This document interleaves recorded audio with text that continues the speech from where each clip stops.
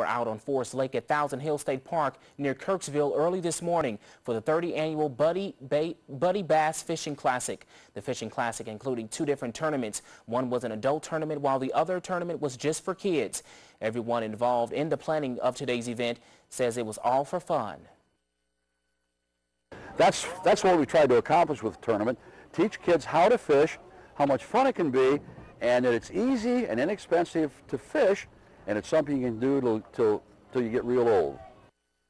Adults had to pay a fee to participate in today's events, but the kids tournament was absolutely free and everyone had a chance to win prizes. About 80 kids and 50 adults participated and everyone caught a fish.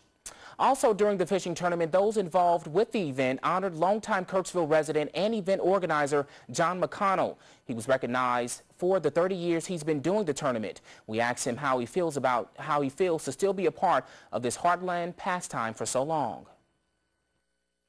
Just that we've, we've taught so many kids, you know, almost 4,000 kids over the course of the 30 years how to fish and, you know, we've kind of left a mark on it, something that they can do like I said, it's not hard to learn to do if you're taught right, and it's something they can carry and do for the rest of their life. So to me, that's the most gratifying part of it. We say congratulations to John on today's honor. And if you missed out on today's tournament, don't worry because you can expect the event to be back next year. The storm